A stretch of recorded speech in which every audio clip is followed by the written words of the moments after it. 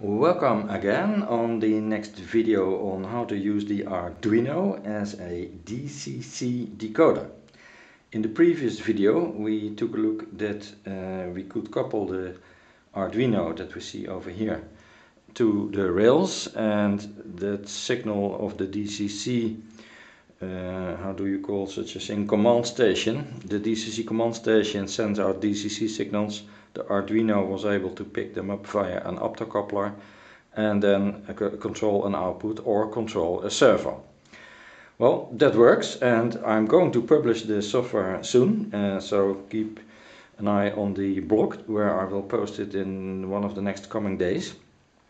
But before I did, I wanted to add one more other piece of software and that is uh, suppose that you have this Arduino mounted under your table where the electronics usually resides then you of course want to be able when you are connecting the servos to a, a junction you want to be able to initialize the minimum and maximum angles that you need.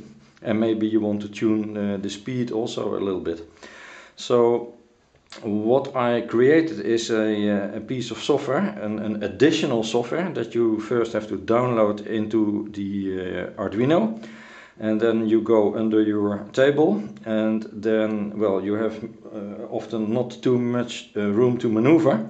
So I kept it very simple to a bare minimum. It's just this one wire that you need. You have all your servos connected. Oh by the way in previous video I, I mentioned that it was possible to control six servos.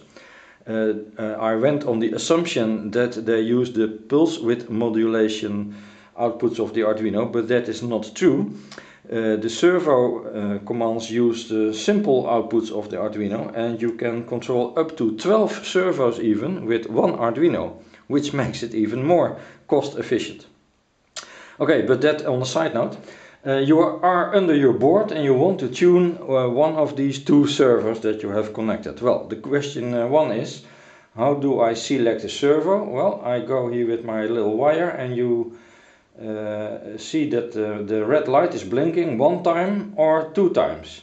That means one time I've selected servo 1 and I can now go to minimum position of servo 1 or to the maximum position of servo 1 and then I can tune that position in, in one degree steps. You see it's running very slowly in one degree steps so I can really stop where I want it to be and then one more, uh, one less. And then I go to the minimum position and I do the same. I uh, tune that position till I am where I want it to be. Uh, so that's, that's that. Let's now go to the servo number 2. Let's wait until the light blinks two times, that was just now. And I go to the minimum position and I fine tune that minimum position and that is all very uh, easy when you are hanging on your knees under the board. Okay, now I go to the maximum of the servo and I tune that maximum again until I am where I need. Uh, well, it is uh, not very sophisticated. I mean, you could of course uh, attach a push button uh, to it in, instead of using this wire, but well, why not keep it simple? Uh, you only do this once uh, in a year and then, then that's it. So I also kept the software to an absolute minimum. It can be more luxurious. I mean, we could add to that software to, to combine this with the DCC decoder software and have, have it store its data in EEPROM or whatever. I did not do that yet. This is a standalone program. You program your servo so that they uh, have the positions that you need. And then the, on the printout you have normally uh, connected your USB to the laptop.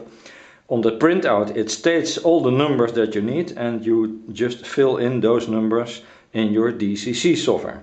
I will show in a next video uh, uh, how that is done. So see you back later in the next video which is more or less a, a sort of documentation. Instead of writing a manual I thought let's make a, vi a video on how to install the software and how to work with it. See you back there. Bye bye.